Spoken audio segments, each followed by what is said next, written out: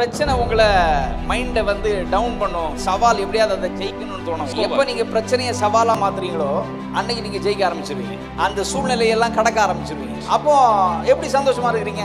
என்னுடைய சேலஞ்சையும் என்னுடைய சந்தோஷத்தையும் வேற வேற டிபார்ட்மெண்ட்டா நான் பிரிச்சு வச்சிருக்கிறேன். என் பிரச்சனையையும் என்னுடைய சந்தோஷத்தையும் ஒரே டிபார்ட்மெண்ட்டா மாத்திட்டோம்னா குடும்பம் பிரச்சனைக்குள்ளாயிடும் சவால்கள் இருக்குதா? சவால் இருக்கு.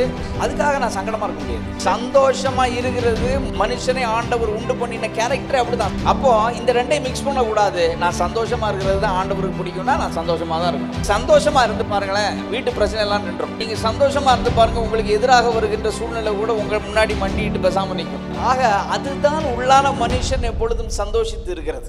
உள்ளுக்குள்ளான மனுஷன் பலப்பட பலப்பட. வெளியரங்கமான மனுஷன் அதனுடைய பெனிஃபிட்ஸ் எல்லாம் அனுபவிக்க ஆரம்பிக்கும் உள்ளுக்குள்ள நீங்கள் சுகத்தை பேச பேச சரீர பிரகாரமான பலவீனங்கள் எல்லாம் மாறி விடுகிறது